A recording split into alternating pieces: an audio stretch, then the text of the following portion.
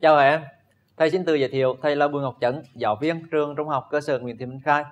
Rất vui khi lại được đồng hành cùng các em trong tiết học ngày hôm nay. Trước khi vào bài học, thầy sẽ cho các em quan sát các cái hình ảnh sau và các em hãy cho biết chúng có dạng hình gì. Đây là hình ảnh lá cờ Việt Nam, hình ảnh tờ giấy A4 và đây là hình ảnh một cái bức tranh. À, và thầy nghĩ các em đều có cái câu trả lời cho riêng mình ta thấy cả hình ảnh mà các em vừa quan sát ở trên màn hình đều có dạng là hình chữ nhật. À, và đây cũng chính là cái nội dung trong cái bài học của chúng ta ngày hôm nay. Bài học của chúng ta hôm nay gồm có 3 phần. Phần thứ nhất đó là nhận biết hình chữ nhật. Khi nhận biết rồi phải biết cách vẽ một cái hình chữ nhật. Và thứ ba đó là chúng ta cần phải biết tính chu vi và diện tích của cái hình chữ nhật đó. Chúng ta vào bài ngày hôm nay. Bài 2, hình chữ nhật, hình thoi. Ở tiết 1 này thì chúng ta sẽ tìm hiểu về hình chữ nhật. Phần 1 nhỏ, nhận biết hình chữ nhật. Thầy cho các em hoạt động sau. Với hình chữ nhật ABCD ở hình 13, các em hãy thực hiện hoạt động sau. A. Đếm số ô vuông để so sánh độ dài của cặp cạnh đối AB và CD. Độ dài của cặp cạnh đối AD và BC để trả lời câu A thì thầy xem độ dài cạnh của ô vuông nhỏ là một đơn vị. À khi đó độ dài của cạnh AB và độ dài của cạnh CD là đều bằng 6 đơn vị. Còn độ dài của cạnh AD và độ dài của cạnh BC đều bằng 3 đơn vị. À từ đó ta đưa ra câu trả lời của câu A, đó là hai cạnh đối bằng nhau trong cái hình chữ nhật ABCD này và AB bằng CD. AD thì bằng BC. Chúng ta trả lời câu B. Các em hãy quan sát xem các cặp cạnh đối AB và CD, AD và BC của hình chữ nhật ABCD có song song với nhau không? À, quan sát trên hình vẽ này thì các em thấy có rất nhiều cái ô vuông nhỏ nó xếp sát nhau. À, và dựa vào cái hình này thì ta thấy rằng AD và BC song song với nhau và ta cũng có AB và DC nó cũng song song với nhau. Ta trả lời được câu B đó là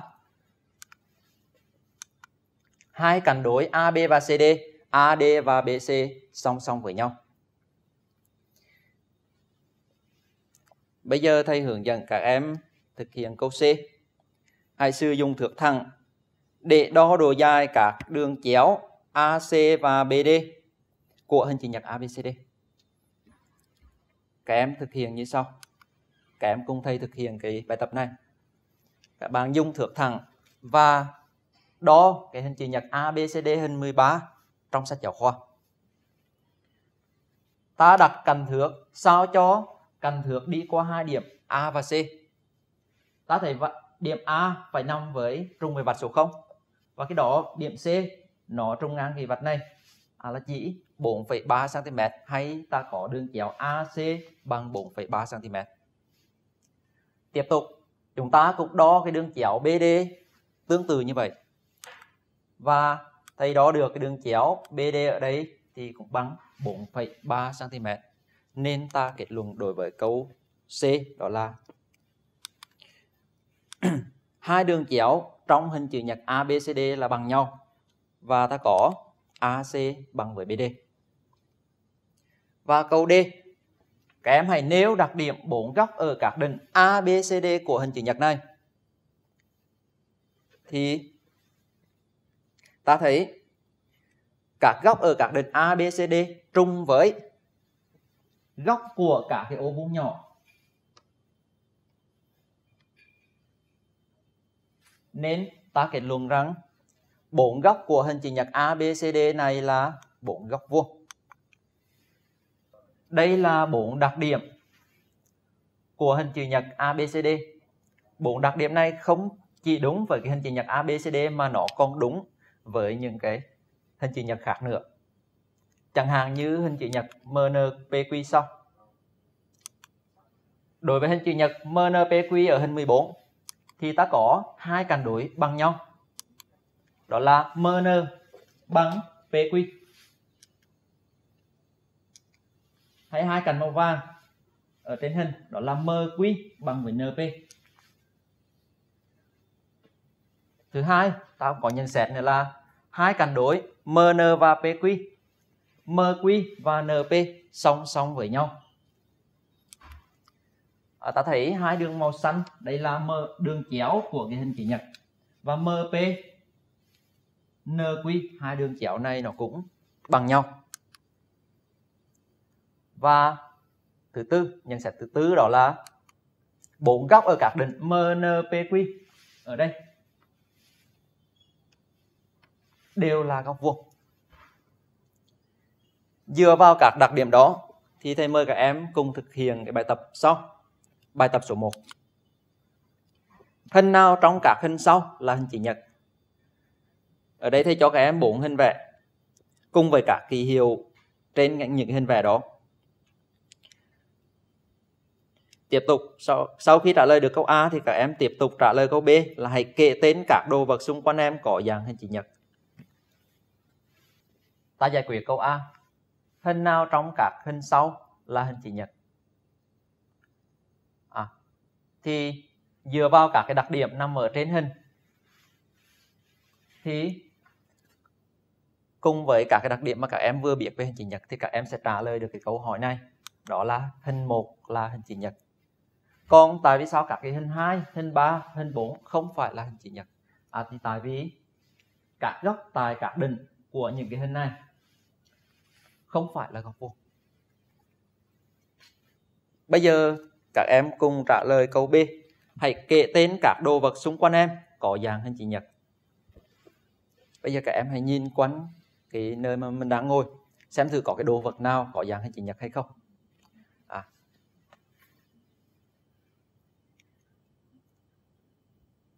à thầy sẽ cho các em một vài gợi ý như sau. À, có thể là tờ lịch treo tường đúng không? Hay là màn hình một cái tivi và gần với các em nhất có thể là một cái bia sách chẳng hạn à, thì bốn cái đặc điểm của hình chữ nhật ngoài giúp các em nhận biết cả cái hình chữ nhật ở trong cuộc sống nó còn giúp các em thực hiện vẽ chính xác được một cái hình chữ nhật nữa. Mời các em đến với phần 2. Vẽ hình chữ nhật. Hoạt động 2. Dùng eke vẽ hình chữ nhật khi biết độ dài hai cạnh. Ví dụ, bây giờ các em hãy dùng eke vẽ hình chữ nhật ABCD. Biết AB bằng 3 cm và AD thì bằng 5 cm. Muốn vẽ cái hình chữ nhật ABCD này thì các em sẽ dùng một cái thước eke và các em chú ý trên thước EK này nó có một góc vuông nằm ở vị trí này chúng ta sẽ sử dụng nhiều để nó thầy hướng dẫn các em thực hiện ví dụ này như sau để vẽ hình chữ nhật ABCD thì chúng ta cần vẽ bốn cạnh của nó mà ở đây chúng ta đã biết độ dài của cạnh AB bằng 3 cm và độ dài của cạnh AD bằng 5 cm thì chúng ta có thể vẽ cạnh nào trong hai cạnh này trước đều được cả ở đây thầy sẽ hướng dẫn các em thực hiện vẽ theo các bước như sau.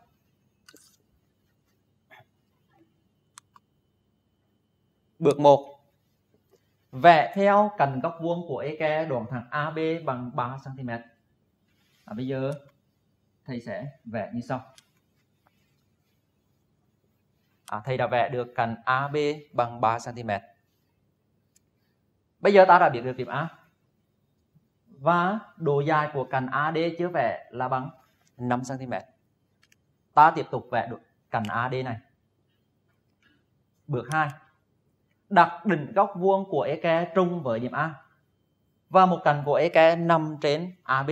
Vẽ theo cạnh kia của EK. Đoạn thẳng AD bằng 5 cm.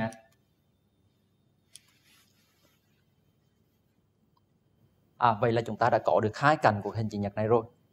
Việc còn lại của các em là đi vẽ các cạnh đối của hai cái cạnh vừa rồi là chúng ta sẽ hoàn tất bài. Và các em nhớ lại các cái cạnh đối trong hình chữ nhật này thì nó song song với nhau. À, dựa vào đặc điểm đó thì chúng ta sẽ vẽ như sau. Bước 3 Xoay EK rồi thực hiện tương tự bước 2 để được BC bằng 5 cm. Thầy đặt EK thế này. Bây giờ thầy vẽ cạnh BC bằng 5 cm. À, và việc còn lại thầy nghĩ các bạn đều làm được đó là chúng ta sẽ vẽ đoạn thẳng CD. Vậy chúng ta đã hoàn thành việc vẽ cái hình chữ nhật ABCD khi biết AB bằng 3 cm và AD bằng 5 cm.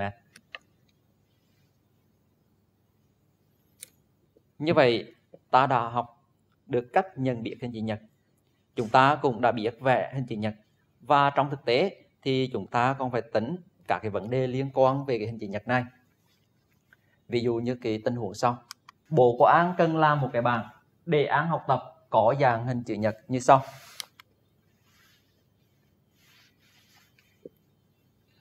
Câu hỏi đặt ra, đó là bộ của An cần bao nhiêu mét vuông gỗ để làm vừa đủ tấm bạc trên.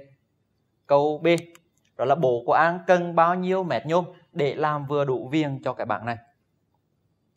Ta có số mét vuông gỗ để làm vừa đủ tấm bảng trên chính là diện tích của hình chữ nhật. Còn số mét nhôm để làm vừa đủ viền cho cái bảng này chính là chu vi của hình chữ nhật đó.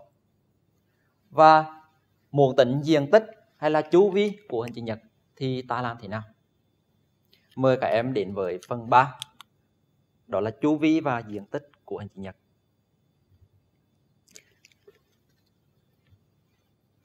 Thầy cho cái hình chữ nhật như trên bảng.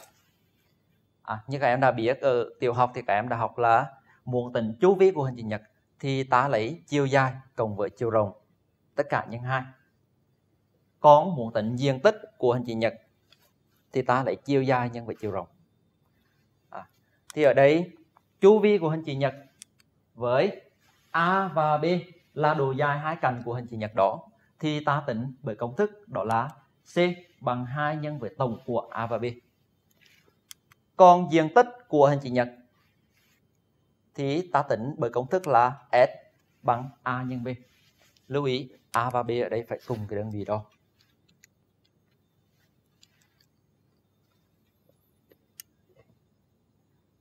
À, nhờ cả cái công thức vừa rồi chúng ta sẽ quay trở lại giải quyết cái tình huống mà chúng ta đã đưa ra ở phần trước đó. À, như vậy chúng ta sẽ đi giải quyết câu A. Bộ của An cân bao nhiêu mét vuông gỗ để làm vừa đủ tấm bảng trên? À, ở đây ta sẽ tính diện tích của hình chữ nhật mà diện tích của hình chữ nhật ta sẽ lấy tính bằng cách là tính tích của độ dài hai cạnh của hình chữ nhật đó. À, S sẽ bằng 10 nhân 20 thì bằng 200 dm vuông. À, nhưng mà các em nhớ là ở đây bài toán yêu cầu tính là bao hỏi là bao nhiêu mét vuông gỗ? À, nên chúng ta phải đổi về đơn vị là mét vuông. À, thì bằng 2 mét vuông. Vậy bộ quán cần 2 mét vuông gỗ để làm cái bảng này chúng ta tiếp tục đến với câu B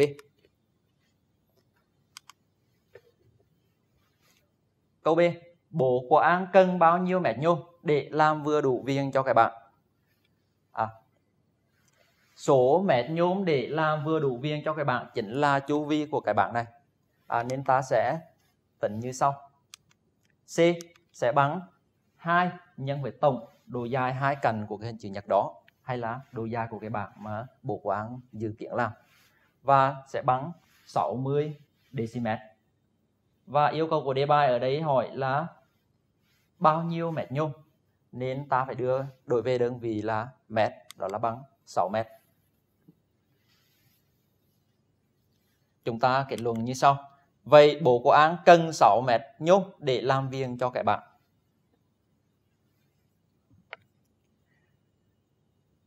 Ngay bây giờ thầy mời các em cùng quan sát một cái hình ảnh. Đây là hình ảnh một cái sân đá bóng. 11 người nhìn từ trên cao. Và cả cái đường viên màu trắng trên cái sân này, nó chia sân ra thành nhiều khu vực. Và rất nhiều cái khu vực trong cái sân bóng này các em thấy có dạng hình chữ nhật đúng không nào? À bây giờ các em thấy ở đây là khu vực cầu môn. Hai khu vực này là khu vực phạt đền cái đường kẻ giữa sân nó chia sân ra làm hai phần thì mỗi phần là cái phần sân của mỗi đội À, vừa rồi các em có xem cái trận bóng của Việt Nam và Australia hay không? À, trong cái vòng loại thứ ba World Cup. À, trong cái trận bóng đó các em có biết là hai đội bóng đã thi đấu trên cái sân vận động nào hay không? À, cái câu trả lời sẽ nằm trong bài tập sau. Bài tập 2. Phân sân bóng đá của sân vận động quốc gia Mỹ Đình ở Hà Nội có dạng hình chữ nhật với các kích thước là 105m và 680 dm. Hãy tính chu vi và diện tích của cái sân bóng này. Thầy sẽ cho các em vài phút để thực hiện cái bài tập trên.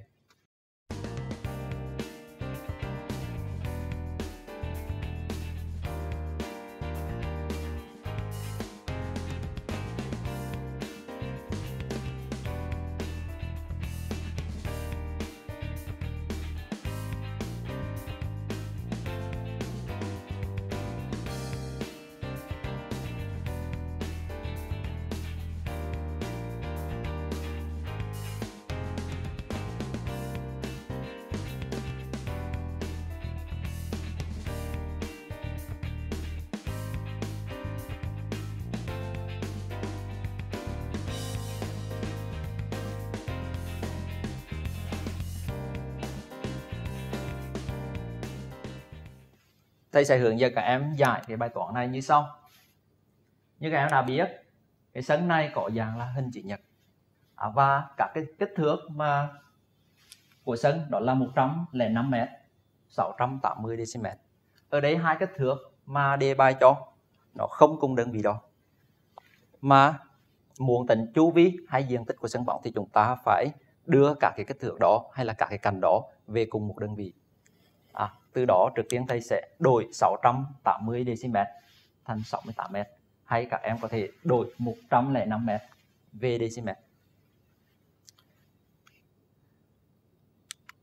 và ta có cả cái kích thước của cái sân bóng này. Là như sau. À, bây giờ thầy sẽ tính chu vi của cái sân bóng này. Chu vi của sân bóng thì chúng ta sẽ tính bởi cái công thức đó là 2 nhân với tổng của độ dài hai cạnh hình chữ nhật đó và ta có hai nhân với một tổng của 105 và 68 thì ta được kết quả là 346 mét. Còn câu tiếp theo chúng ta sẽ thực hiện đó là tính diện tích của sân bóng. À, diện tích của sân bóng này chúng ta sẽ tính bởi công thức đó là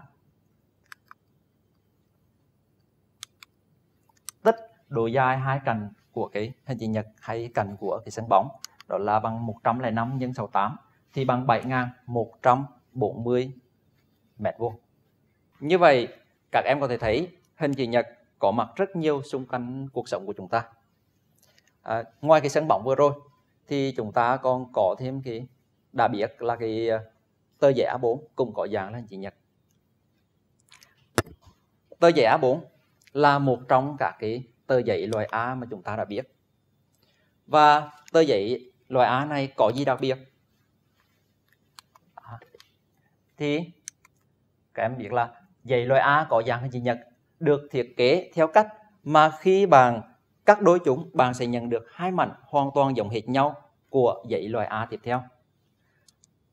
Ví dụ nếu thầy cắt đôi cái tờ giấy A0 theo cái đường này à, thì thầy sẽ nhận được hai cái tờ giấy A1 và nếu thầy cắt đôi cái tờ giấy A1 theo cái đường kẻ này thì thầy sẽ nhận được hai cái tờ giấy A2 và tất nhiên là cả cái tờ giấy A0, A1 hay là A2 này đều có dạng là hình chữ nhật.